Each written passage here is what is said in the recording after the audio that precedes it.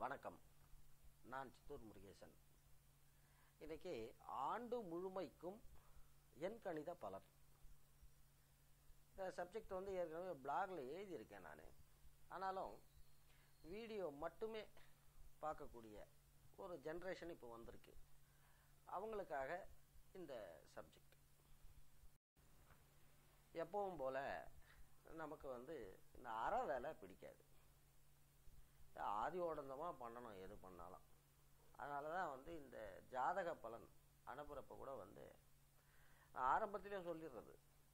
நிறைய பெண்டிங் இருக்குது நீங்கள் பொறுமையாக வெயிட் பண்ணுறாப்புல இருந்தால் அனுப்புங்க. இல்லை அனுப்பாதீங்க.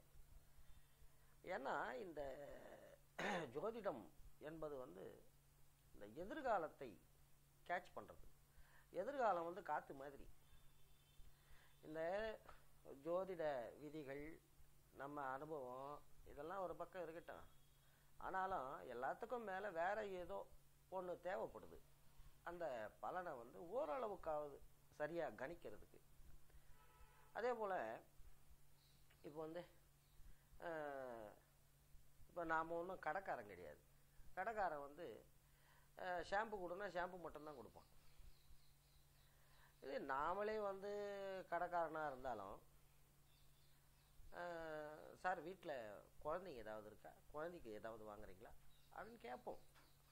அது அது வந்து ஒரு விதமான தாய்மை உணர்வு. அப்படி இந்த ஆண்டு முழுமைக்கும்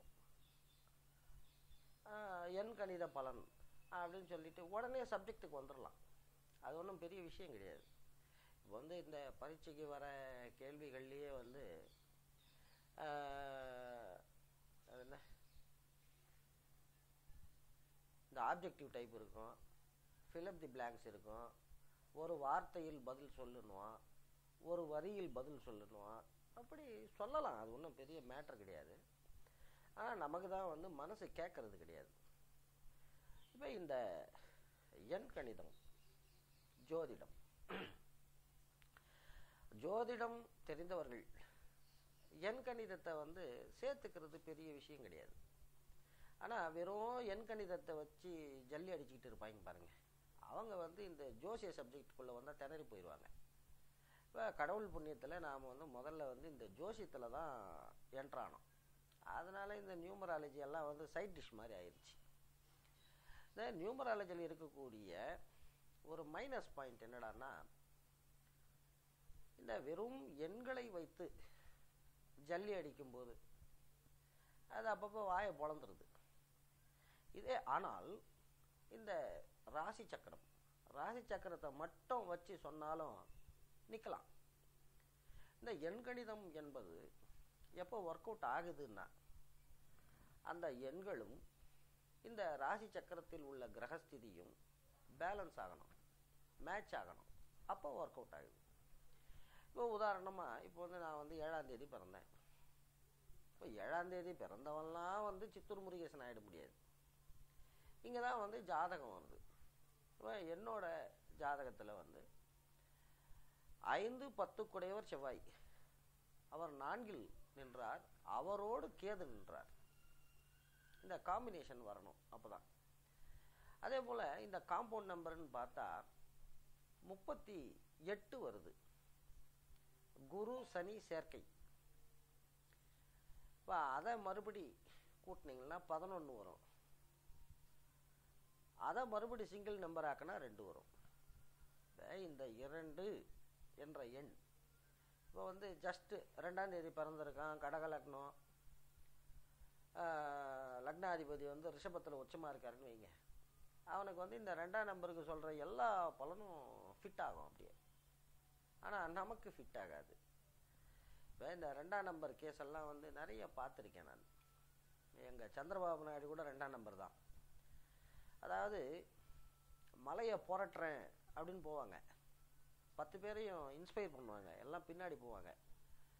ஆனால் அங்கே கிட்ட போனதும் வந்து டீல் ஆயிடுவாங்க அதான் இந்த ரெண்டாம் நம்பரினுடைய மைனஸ் பாயிண்ட் ஆனால் நம்ம பொறுத்த வரைக்கும் வந்து எப்படின்னா இந்த த்ரீ ப்ளஸ் எயிட் காம்பினேஷன் அதாவது மூன்று என்பது நம்பிக்கையை தரும். எட்டு என்பது சந்தேகத்தை தரும். இப்போ தெலுங்கில் வந்து சொல்லுவாங்க கீடெஞ்சு மேலெஞ்சு அதாவது ஒரு காரியத்தை செய்ய போகும்போது இதனால் என்னெல்லாம் நஷ்டம் வரும்? அதை முதல்ல லிஸ்ட் அவுட் பண்ணிக்கிட்டு அப்புறம் இதனால் என்ன லாபம்னு பார்க்கணும். அப்படி இந்த முப்பத்தெட்டுங்கிற காம்பினேஷன் வந்து ஒருபுறம் நம்பிக்கையையும் மறுபுறம் சந்தேகத்தையும் தருகிறது. இப்போ வந்து நம்பின பிறகு சந்தேகப்பட்டோன்னு வைங்க. வாழ்க்கை நரகமாயிரும். இதே வந்து சந்தேகப்பட்ட பிறகு நம்பிட்டோன்னு வைங்க. வாழ்க்கை சொர்க்கமாயிரும். இப்போ வந்து இந்த விவேகானந்தர் ராமகிருஷ்ண பரமஹம்சர் அவங்களுடைய ரிலேஷனை பார்த்தீங்கன்னா உங்களுக்கு ஆச்சரியமாக இருக்கும். விவேகானந்தர் வந்து ராமகிருஷ்ணரை செமையாக டெஸ்டிங் பண்ணுவார். முகத்துக்கு நேராக கேட்பார் ஆனால் அந்த விவேகானந்தர் தான் ராமகிருஷ்ண பரமஹம்சருடைய அந்த பெருமையை புகழை உலகமெல்லாம் பரப்பினார். இது இந்த முப்பத்தி எட்டு. இப்போ வந்து ஒய்எஸ் ராஜசேகர் ரெட்டி. அவருடைய காம்பவுண்ட் நம்பரும் முப்பத்தெட்டு தான். அவர் வந்து இந்த ஹெலிகாப்டர் விபத்தில் இறந்து போனப்போ நண்பர் ஒருத்தர் வந்து தலையணை சைஸில் ஒரு நியூமராலஜி புக்கை காட்டினார் எனக்கு. ஓ பாரியா உன்னது கூட முப்பத்தெட்டு தான் வருது. ஜாக்கிரதையாயிருன்னு அதாவது இந்த மஞ்ச புடவை கட்டினவெல்லாம் என் மொஞ்சாதிங்கிற மாதிரி இதெல்லாம்.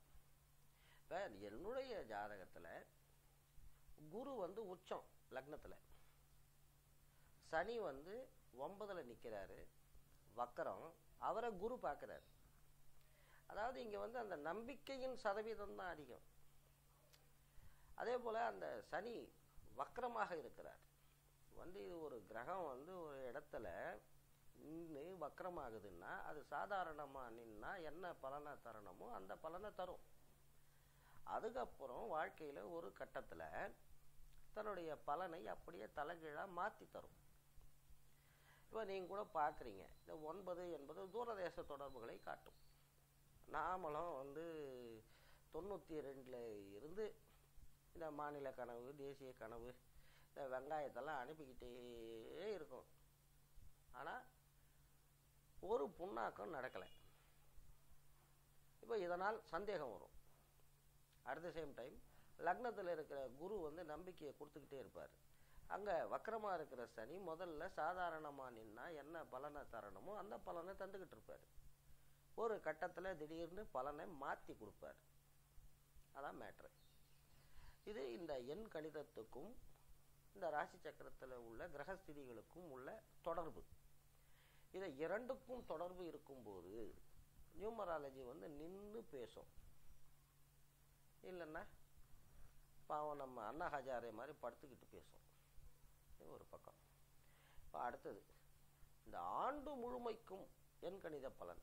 இது எப்படி சாத்தியம் அப்படின்னு கேட்பீங்க இதை வந்து நான் ஒரு ஆங்கில புத்தகம். அது வந்து ப பப்ளிஷர்ஸ் வந்து டெல்லி. அதில் பிடித்தேன் நாம் வந்து பிடித்ததும் அப்படியே இதான் பிள்ளையாருன்னு வைக்க மாட்டோம். அதை வந்து நம்ம ஆராய்ச்சி பண்ணுவோம். அது லேப் லெவலில் இருக்கும். அதுக்கப்புறம் தான் வந்து மக்கள் உபயோகத்துக்கு தருவோம் செமையாக ஒர்க் அவுட் ஆகும். வேணும்னா பாருங்கள் அதாவது இதில் சிம்பிள் ப்ராசஸ் என்னடான்னா உலகத்துக்கெல்லாம் வந்து ஜனவரி ஒன்றாம் தேதி புது வருஷம் பிறகுது இந்த ப்ராசஸில் நீங்கள் பிறந்த மாதம் தேதி என்னவோ அன்னைக்கு தான் வருஷம் பிறக்குது. இதை ரெட்டிங்கில் அண்டர்லைன் பண்ணி வச்சுக்கோங்க. இப்போ உதாரணமாக நான் வந்து ஆகஸ்ட் ஏழாம் தேதி பிறந்தேன். ஆகஸ்ட் ஏழுல இருந்து செப்டம்பர் ஏழு வரைக்கும் மொத மாதம் இந்த மொத மாதத்தில் இந்த லக்ன பாவத்துக்கு உண்டான பலன்கள் நடந்துக்கிட்டு வரும். இங்கே வந்து உங்களுக்கு பாவகாரகத்துவம் தெரியணும் இதெல்லாம் நம்ம ஆன்லைன் ஜோதிட வகுப்புகளில் கொடுத்துருக்கோம் ஏற்கனவே. தேடி பிடிச்சி பாருங்கள் இப்போ வந்து ஸ்வீப்பிங்காக சொல்லிகிட்டே போகிறேன் இப்போ வந்து இந்த கணக்குப்படி இந்த முதல் மாதம் அதாவது நாம் பிறந்த மாதம் தேதி அன்று புதிய ஆண்டு பிறக்கிறது.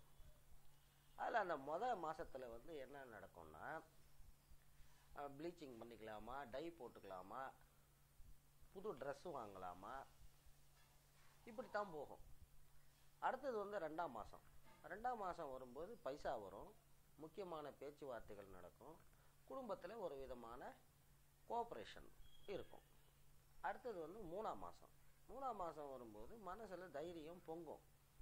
அந்த நேரம் பார்த்து உங்களுக்கு கோச்சாரமும் ஓரளவுக்கு அனுகூலமாக இருந்ததுன்னு வைங்க. கில்லி.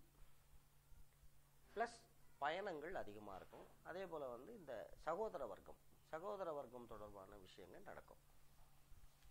அடுத்தது வந்து நான்காம் மாதம். நான்காம் மாதம் வரும்போது அங்கே வந்து தாய் வீடு வாகனம் கல்வி. இதுக்கு சம்பந்தப்பட்ட விஷயங்கள்லாம் நடந்துக்கிட்டு வரும். நல்லதா கெட்டதாங்கிறது வந்து அது வேற கதை. நல்லதா கெட்டதாங்கிறது அது வேற கதை. ஆனால் சில மாதங்கள் வந்து அனுகூலமாக இருக்கும். இப்போ உதாரணமாக இப்போ வந்து எனக்கு வந்து போன மாதம்லாம் வந்து நாலாம் மாதம். நீ என்ன ஆச்சு? யோசனை பண்ணால் இந்த இது டிவிஎஸ் எக்ஸல்னுடைய இது கட் ஆயிருச்சு. அது என்ன? Accelerator wire. அதை வந்து ஒரு பெரிய வேலைக்காரர்கிட்ட கொடுத்தோம். அவர் பெருசாக ஏதோ வேலை பண்ணிட்டார். அது ஏறக்குறைய வந்து அந்த ஒன்றாயிரம் ரூபாய் வண்டி ஒன்று வச்சுருந்தோம் பாருங்கள் அந்த நிலமை வந்துருச்சு. டொக்கு டொக்குன்னு அடிச்சுக்கிட்டு கிடக்கணும். அது இப்போ என்னமோ செட்ரேட் ஆகிருக்கு அதுவாகவே அது வேற கதை. இப்போ இது அஞ்சாம் மாதம் அஞ்சாம் மாதம் நடக்கும்போது என்ன நடக்கணும்? அதிர்ஷ்டம் வரணும். புத்தி கூர்மையாக வேலை செய்யணும். பெயரும் புகழும் வரணும். குழந்தை குட்டிக்கு நல்லது நடக்கணும். அதே போல் இந்த வின்ஃபால் கெயின்ஸ்னு சொல்லுவாங்க. அதாவது வந்து நாம் பத்து ரூபா வரும் அப்படின்னு நினச்சி ஒரு வேலையை செய்திருப்போம். அது நூறுரூவா வரும். அது மாதிரி இந்த அஞ்சாம் மாதம் அடுத்தது வந்து ஆறாம் மாதம் இங்கே வந்து ரோகபாவம். அதாவது சத்ரு ரோகம் ருணம். அந்த நேரத்தில் ஹெல்த் ட்ரபுள் கொடுக்கும். கடன் வாங்க வேண்டி வரும். இல்லை ஏற்கனவே கொடுத்த பணத்தை வாங்க முடியாமல் அங்கே வில்லங்கம் வரலாம். கோர்ட்டு கேஸு இது இந்த ஆறாம் மாதம் ஏழாம் மாதம் வரும்போது இப்போ வந்து இஃப் யூ ஆர் அன்மேரீடு நீங்கள் வந்து உங்களுடைய எதிர்கால வாழ்க்கை துணையை சந்திக்கலாம். அதே போல் நல்ல நண்பர்கள் கிடைக்கலாம். தொழிலில் பங்குதாரர்கள் கிடைக்கலாம். அது ஏழாம் மாதம் எட்டாம் மாதம் வரும்போது அங்கே வந்து அடிபடுறது வீண் பழி எல்லா டோரும் க்ளோஸ் ஆகிட்டு அரெஸ்ட் ஆன மாதிரி ஒரு ஃபீல் இப்படி வரும். அடுத்தது வந்து ஒன்பதாம் மாதம். ஒன்பதாம் மாதம் வரும்போது இந்த பித்ருபாவம் அதாவது அப்பா அப்பா வழி சொந்தக்காரங்க முதலீடு சேமிப்பு தூரதேச தொடர்புகள் இதுக்கு சம்மந்தப்பட்டதெல்லாம் நல்லது நடக்கும். அடுத்தது வந்து பத்தாம் மாதம். பத்தாம் மாதம் வரும்போது இந்த செய்தொழில் உத்தியோகம் வியாபாரம் இதில் உங்களுடைய ஆர்வம் கூடும் உங்களுடைய உழைப்பும் கூடும். அந்த உழைப்புக்கேற்ற பலனும் கிடைக்கும். அடுத்தது வந்து பதினொன்றாம் மாதம். பதினொன்றாம் மாதம் வரும்போது மூத்த சகோதரம் யாராவது இருந்தால் அவங்களால உங்களுக்கு அனுகூலம் நடக்கலாம். அதே போல் உங்களுடைய அந்த ப்ராஃபிட் மோட்டிவோடு கூடிய செயல்கள் அவை உங்களுக்கு பலன் தரலாம். அடுத்தது வந்து இந்த பன்னெண்டாம் மாதம். பன்னெண்டாம் மாதம் வரும்போது தூங்கி வழிகிறது கண்ட நேரத்தில் தின்னுக்கிட்டே இருக்கிறது. இல்லை இந்த சிட்டுக்குருவி மாதிரி கில்மா மேட்டரில் என்ட்ராயிடுறது வீண் விரயங்கள் அல்லல் அலைச்சல் இதெல்லாம் வரும். இதான் ஆண்டு முழுமைக்கும் உண்டான எண்கணித பலன்கள். இதை வந்து நீங்கள் உடனே வந்து ஏற்றுக்கணும்னு சொல்ல மாட்டேன். நமது வந்து பெரியார் வழி.